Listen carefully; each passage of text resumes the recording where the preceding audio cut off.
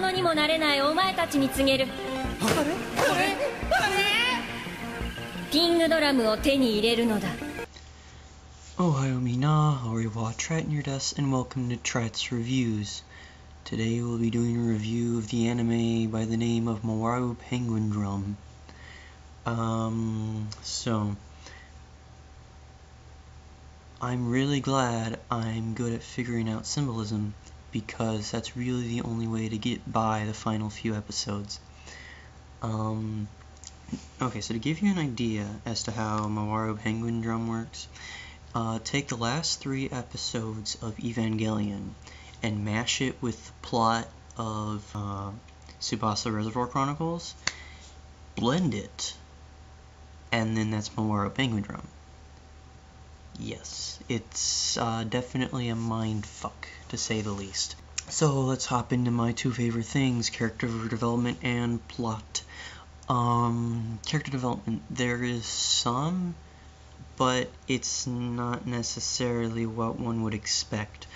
Um, the characters uh, do change radically, but sometimes it's just a temporary thing, where one moment they'll be doing what they normally do, and the next they'll just do whatever they need to do.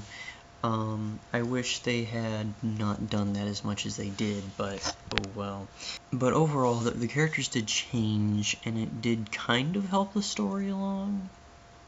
Okay, so let's hop into the ending, uh, because there's not a whole lot I can talk about in terms of character development, but I can talk about the ending.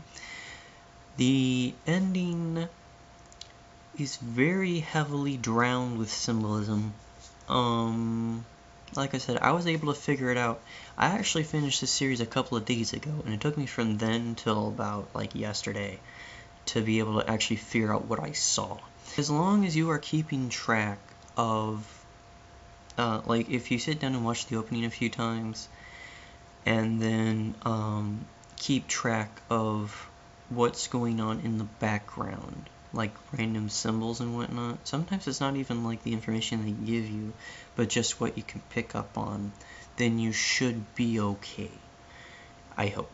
Um, that being said, I still had a slightly difficult time trying to figure out what was going on. That's a bad sign because normally I'm okay with this kind of stuff. As for that opening clip I showed, um, that is not the opening. I wish it was, because the tune is super catchy. Uh, that is the transformation scene of stuff that doesn't actually happen, but it kind of does. Once again, mildly confusing. Um, it's like I never figured out why they didn't just separate the word penguin from the word drum. They did penguin drum. And then in a similar fashion, they never explained why they were penguins at all. Like, you have four there we go, four penguins running around in this series, and they don't explain any of it at all. Um, I wish they had, but they didn't. So,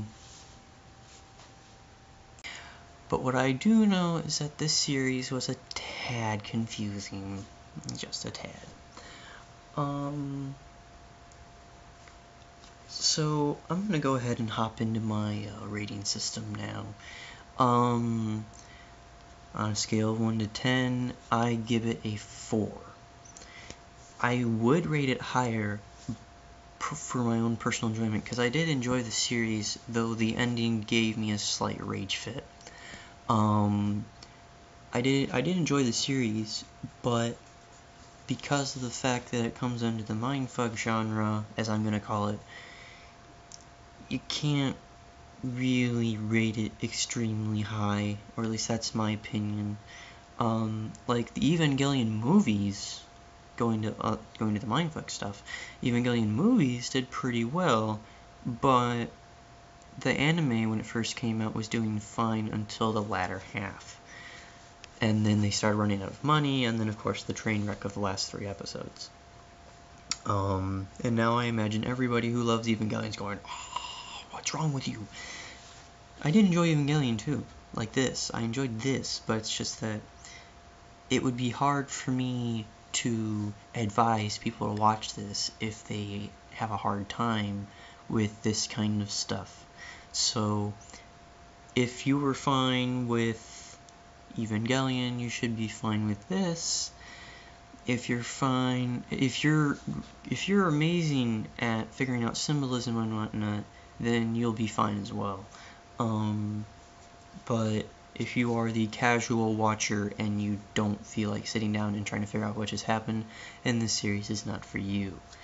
Um, so yeah, that is my review of Mawaru Penguindrum. If you want me to review other things, stick that down in the comments uh, section.